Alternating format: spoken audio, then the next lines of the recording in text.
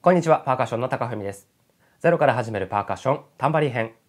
この動画ではタンバリンのリズムで裏の位置にアクセントをつける方法を解説していきます。え、リズムというのは全て表と裏の組み合わせでできていますので、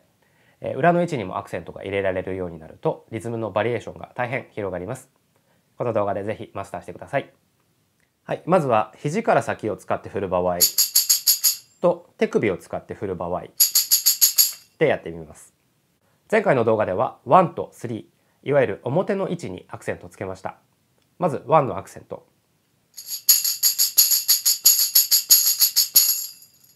えー、3のアクセント。で今回裏の位置2と4にアクセントをつけたいわけなんですけれども、えー、この場合はですね1、2、3、4、1、2、3、4なので、えー、タンバリンが自分に対して外側に振っている時にアクセントをつけるということになります。やり方としてはタンバリンを振っている位置よりも少し前に反対側の手を出しまして、えー、タンバリンの裏側というか、まあ、こっち側の面をですね触れられるように少し指を巻き込んで当てます。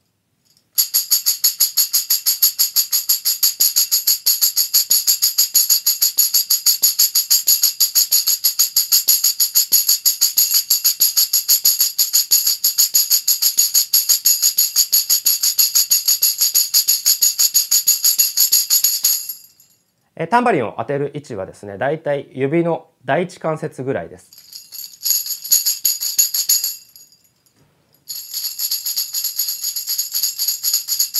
まあ、こんな感じですね。えー、裏の時もですね、表同様、アクセントだからといって特に強く叩く必要はありません。あくまでタンバリン振っている流れの中で軽く当てる。これだけで OK です。えー、注意点としましては、タンバリンをなるべく自分の体から離さない方がやりやすいです。こう離した状態で振ってしまうと、えー、裏の位置に入れたい時にその分ですね反対の手をこう伸ばさなくてはいけないのでこれはなかなか大変です。えー、なるべくこう自分の体の近くに寄せて、まあ、大体まあ首の前ぐらいに来るようにすると、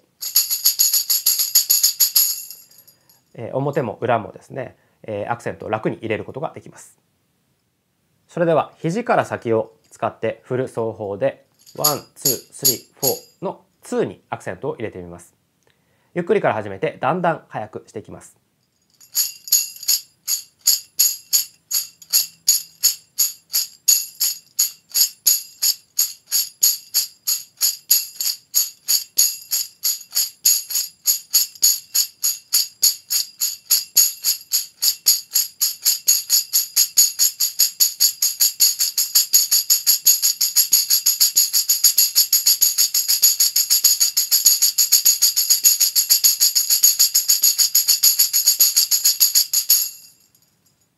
では次は、1、2、3、4。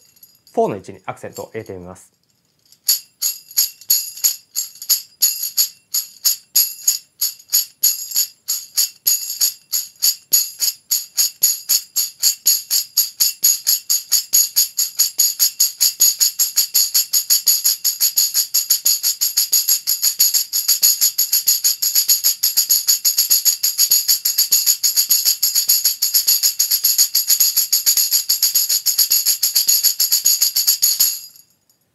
えー、この裏を叩く感覚っていうのをですね、初めは少し難しいかもしれません。なので、えー、慣れる練習として、えー、タンバリン構えて、こっちの手をもうですね、裏に当てる位置で固定してしまって、 one、two、three、four、one、two、three、four、one、two、three、four と。もうひたすらですね、この裏に当てるっていうのを練習して、えー、感覚を慣れてください。ワン、ツー、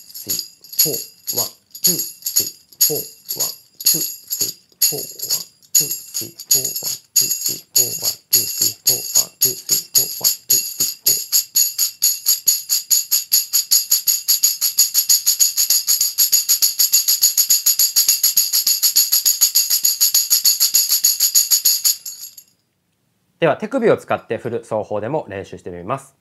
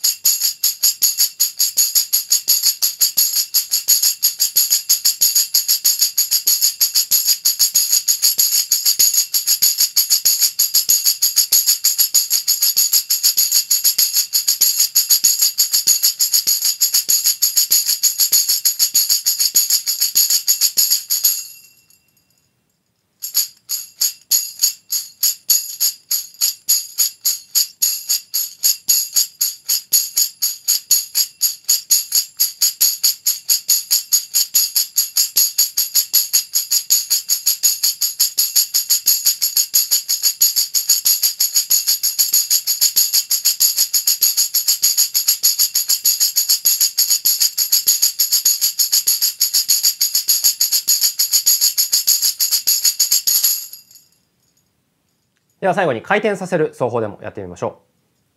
う。えー、回転させる奏法では、1、2、3、4と動かしていましたので、裏の位置の場合、この、えー、半分より下側ですね。こっち側に手が当たるように、えー、構えて、1、2、3、4、1、2、3、4、1、2、3、4、1、2、3、4。まあ、このようにタンバリンの下側に当たるようにします。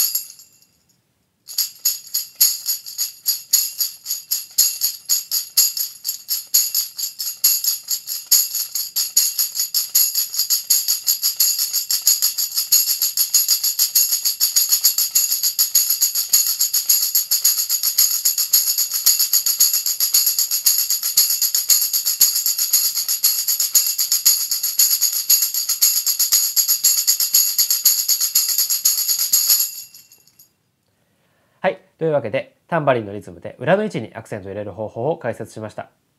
まあ、やり方自体は簡単なんですけれども、初めのうちはこの感覚をつかむのがですね、なかなか難しいかと思いますので、えー、ゆっくりから着実に練習していってください。こんな感じでパーカッションのレッスンや情報発信しておりますので、よろしければぜひぜひチャンネル登録をよろしくお願いします。